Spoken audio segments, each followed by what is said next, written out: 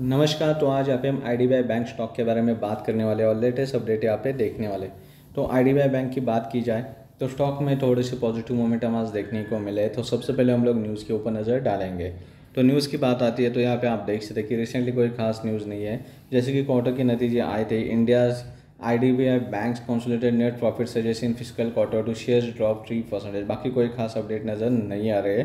Two days अगो की news है। बाकी की बात की जाए तो स्टॉक में यहाँ पे आप देख सकते कि जो ऑरेंज कलर की लाइन है, वो है फिफ्टी मूविंग एवरेज जिसका सपोर्ट लेके स्टॉक ऊपर की तरफ़ एक अच्छी मोमेंटम की थी।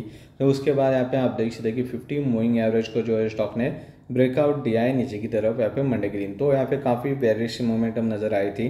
फिर उसके बाद आज थोड़ा सा पुल बैक देखने को मिला है। तो देख सकते कि वॉल्यूम्स की रिकवरी होती है तो फिर से स्टॉक ऊपर की तरफ़ मोमेंटम कर सकता है अच्छा खासा।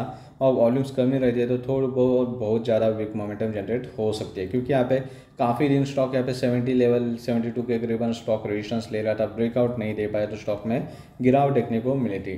तो अच्छे वॉल्यूम्स आते हैं, अच्छे क्वान्टिटी के साथ पॉजिटिव वॉल्यूम से आते हैं तो एक पॉजिटिव ब्रेकआउट मिल सकता है रिकवरी देखने को मिल सकती है। आईडीबीआई बैंक के अंदर।